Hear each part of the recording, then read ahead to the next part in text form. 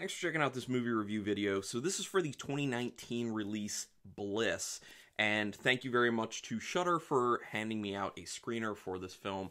Uh, I believe this is going to be a Shudder exclusive, um, as in it's like exclusively streaming on Shudder on the 30th of January, which should be when I'm putting this video out. So same day. Now, no spoilers on this because it's just hitting Shudder and it's a pretty new film, and I don't want to spoil anything with this if people want to see the film.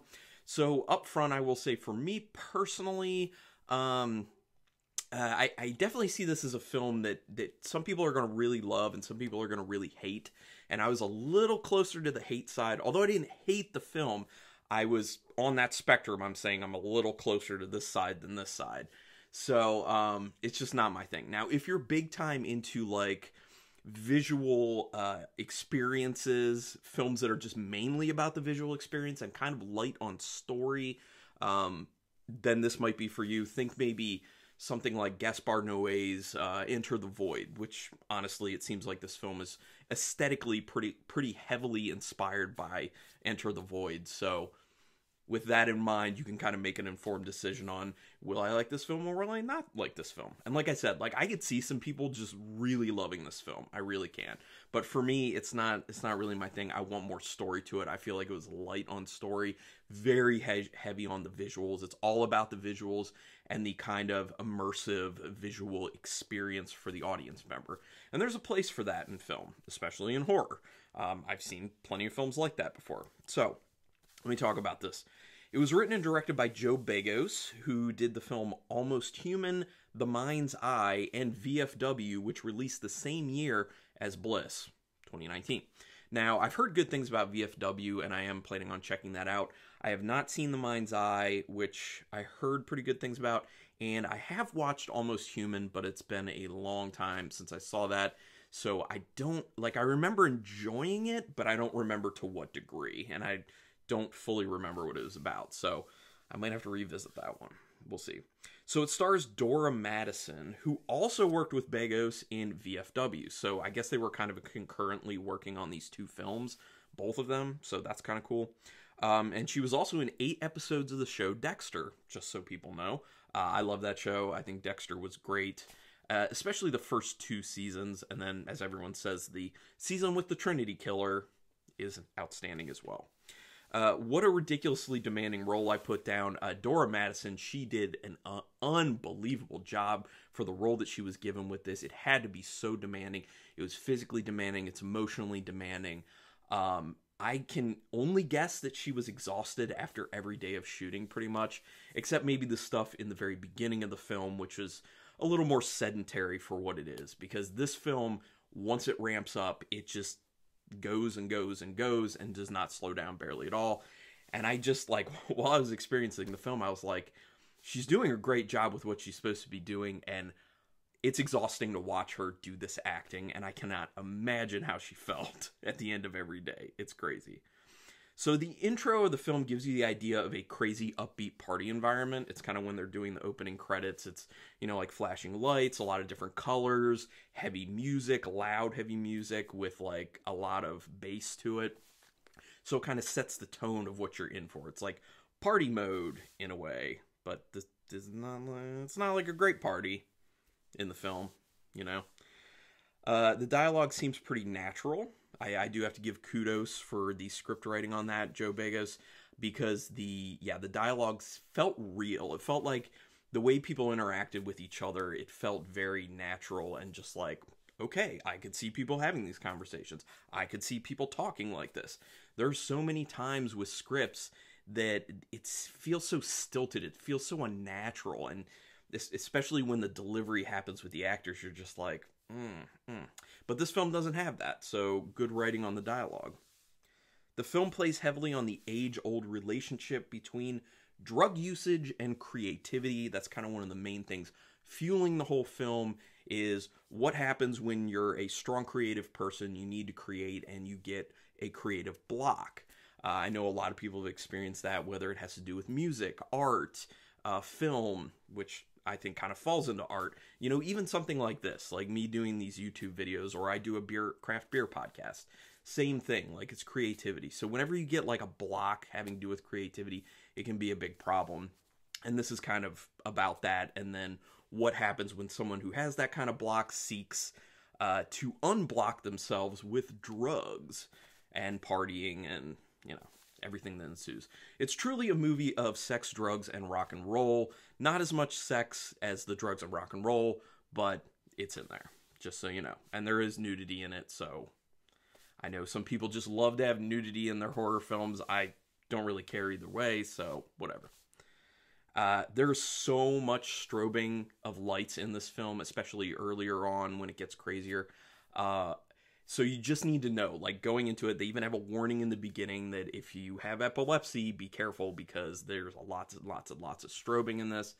And it's not only that it's a lot of strobing, there's also a lot of shaky camera work and a lot of uh, faster camera movements. So if you're watching it, you, it could make you a little bit queasy to watch. I actually was okay with it. Sometimes with a lot of camera movement, it can make me really queasy, kind of like the original Cloverfield film, which I actually have somewhere over there, um, which I'm not really a fan of. But the the camera movement with that was just too much. This kind of gets up to that line for me, but doesn't quite cross it. But just know if you get queasy easily with camera movement, this could do it for you. There's lots of slow motion that's used in this as well. Uh, and that, you know, when you start seeing that paired with all the camera movements, paired with all the physical acting that goes on in the film, paired with the light strobing, it's it's very very apparent that the film was mainly driven by visuals. It's all about the aesthetics and I know plenty of people out there who like they love films like that. Like it doesn't matter that much what the story's all about as long as they can sit down for hour and a half, 2 hours, however long the film is and see a cool visual representation on the screen. So, uh, the film is just stocked with characters that are crap human beings who think a lot of themselves and just live for excess. Uh, that's what became pretty apparent to me about this film, and for that reason, it's actually very hard to like anyone. I'm not sure that you're supposed to really feel for anyone or like anyone. It it more feels like you're observing a bunch of terrible people doing terrible stuff, and you just I don't know. For me, for me, it doesn't work with the film because I like to feel somewhat invested in the movie, like have someone that I can kind of on some level relate to or feel for when things happen to them or when they get into a bad situation be like oh no. But it was kind of more of like while i'm watching this i'm just this observer just being like don't care what happens to any of these people. And when it does happen i'm just like okay. Doesn't matter to me right now. I feel like there are low stakes because they sucked anyway terrible people. And you know i mean there's something to be said for for forcing people to kind of watch a film with with no nice characters or relatable characters. Like it's it's a way of doing film and I appreciate it sometimes but with this film I was kind of like well there's like nobody so. Although George Wendt is in it and and how can you not just feel like you you want to like George Wendt whenever you see him in anything? So that's a plus he doesn't have a huge role in it though. Uh, there's a moment where the situation is amped up like way amped up and it's kind of like okay so where are we going from here? Uh it, it just kind of goes it makes a big jump not in a bad way and then you're just like whoa okay we just got super amped up. I felt like things were already getting kind of crazy. Where's it going from here? So it kind of grabs your interest at that point. But then it kind of feels like it really stagnates because it feels like they just start to replay some of the exact same type of stuff over and over and over again and just kind of beating the same thing. And that kind of made it feel like they were really trying to stretch the runtime because this film's only an hour and 20 minutes. So when you sit down and you're like, well, there's not a whole lot of story, it's all about the visuals, and it feels like they keep repeating a lot of uh, thematic stuff. Uh, it, it just feels like they stuck a bunch of that you know repetitive stuff in there just to pad the runtime, which sucks because honestly, and this is always a bad thing for me, the movie's an hour and 20 minutes, it feels much longer than that. And at an hour and 20 minutes, that's on the shorter end. So, ugh. Uh, it feels like they draw out a bunch of the crazy sequences a bit too long, and I'm like, where's the story? Yeah, like I said, it's super, super light on story. There is a story there, but it's unbelievably simplistic, and I just wanted more, honestly. even though things are happening, it feels like the film is stagnating and consistently stagnating. Once you get past the initial portion, I don't know, definitely when you're a half hour into it, maybe when you're like 20 minutes into it, it just kind of feels like there's not a whole lot of new anything going on. It's just like, okay, we're doing this and we're still doing this and still doing this. Uh, in a way, the film depicts creativity as a very raw and primal thing. I thought that was kind of an interesting take on it.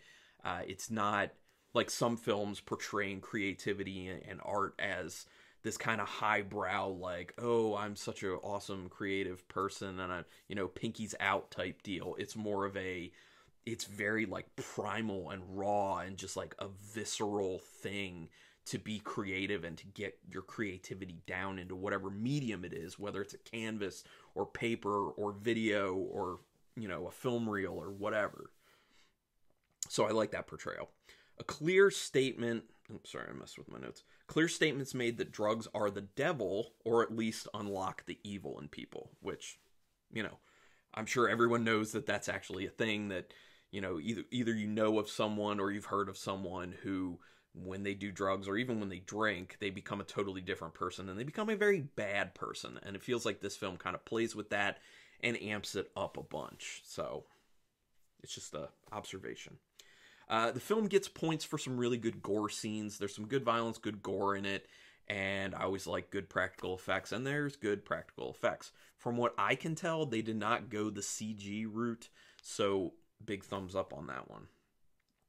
So, overall, the film is about excess, and the film is also that in and of itself. The overly emotional acting, the violence, the strobing lights, the shaking camera, heavy and constant loud music, and once it starts, it doesn't really slow down. So, really, the events of what's happening in, happening in the film and the construction of the film itself is excess. The story is excess. The film, in its in its uh the way it was made is excess as well. So it's in it's an interesting observation that they kind of mirror each other like that. It's just not something that I enjoy to be honest.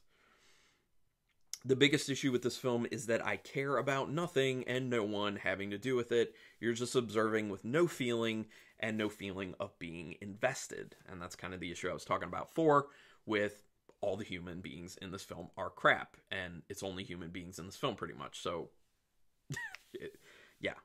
Uh, the point is most likely this the point in this film most likely is about the inner hell of being a creative person and the painful struggle when you can't get it out of you. And you know, I, I can kind of relate with that because I definitely have times where I, I just feel like I need to be creative and there is that kind of block that's hit me. But once I actually get past that and I'm able to either, you know, put it on paper, put it on canvas, put it in film, however people do it, um, it does feel like a release. Like getting a creative something out of you is very much like a release. And I feel like this film kind of captures that pretty well. And so I feel like I could kind of relate to that about the film, just not any of the people in it. Uh, and in a way, the main character puts her whole self into her art. And people who have seen the film and are watching this know what I mean. People who have not seen the film yet and are watching this you will know what I mean because it's kind of like a, you know, it's a little veiled comment. So, anyway, thank you everyone for checking this out. Um, please give me your thoughts on this. If you haven't seen Bliss yet, what have you heard? Are you interested in watching it? Excited about it? Uh, comment down there. Also, you also, sorry, are you one of those people who really just likes visual journeys with films? Uh, I kind of find like Enter the Void or like a film like Mandy, that's another one that I know a lot of people really like because it's all about visuals. I don't like it so much because it is just all about visuals and it's very light on story. But are you one of those people and and why? You know, like why does that appeal to you so much? I know that's kind of a stupid stupid uh, question to a bit to a certain point because people just be like just because I like cool visuals. but maybe it's a little bit more. Put your comments down there. So let's talk. Uh, please help me out. Give me a subscribe. That would be a really big. Uh, I would thank you very much for doing that. And that's the way you can thank me for doing any of these videos that I do. If you like anything I do, the subscribe's the big thing. If you're already subscribed, please please hit Jesus. Please hit that like button. Or if you aren't subscribed, you can hit the subscribe and the like button. And that's super awesome. But thanks everyone for checking this out, and until next time, keep it brutal.